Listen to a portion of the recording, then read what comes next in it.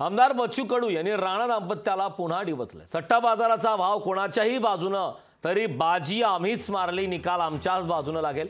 निवडणूक आम्हीच जिंकणार असा विश्वास व्यक्त केलाय. नवनीत राणा निवडणुकीत पडणार त्यांना रवी राणाच पाडणार असं देखील वक्तव्य आता बच्चू कडू यांनी केलं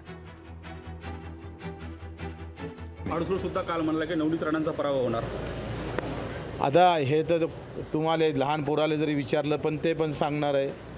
का नवनीत राणा यावेळेस पडणार राणाच पाळणार त्यांना रवी राणाच पाळणार आहे त्यांच्याच प्रवृत्तीमध्ये पडणार आहे. आणि हे काही सांगायची गरज नाही आहे. मला वाटते रवी राणानं किमान दोन एक वर्ष तोंड जरी चूप ठेवलं असतं तरी कदाचित रिझल्ट वेगळे राहिले असते. लोकशाही मराठी. ऐका पहा जागरूक रहा.